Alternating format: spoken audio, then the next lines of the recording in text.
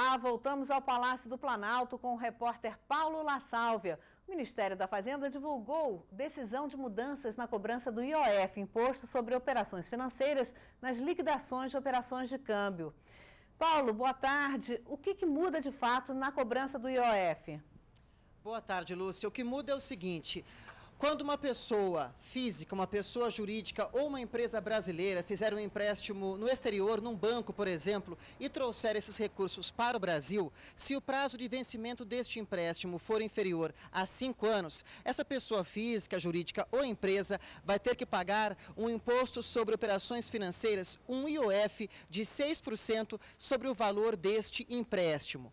A medida anunciada pelo Ministério da Fazenda nesta segunda-feira e publicada no Diário Oficial da União já teve reflexos na Bolsa de Valores, onde o dólar está sendo cotado a R$ 1,83, um valor acima do fechamento da última sexta-feira. E é justamente este o objetivo do governo, barrar a valorização do real em relação ao dólar, porque com o real muito caro, isso prejudica as exportações nacionais e acaba incentivando as importações. Então, o que o governo quer é investimentos no Brasil de longo prazo, não estes investimentos de curto prazo, quando o capital entra no país, fica um curto espaço de tempo e volta para o exterior atrás de altos rendimentos financeiros. Então, a ideia do governo federal é evitar uma enxurrada de dólares na economia brasileira e fazer com que o real tenha um ponto de equilíbrio em relação ao dólar.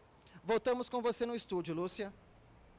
Obrigada, Paulo. Podemos voltar a qualquer momento com outras informações. Continue com a gente, NBR e a TV do Governo Federal.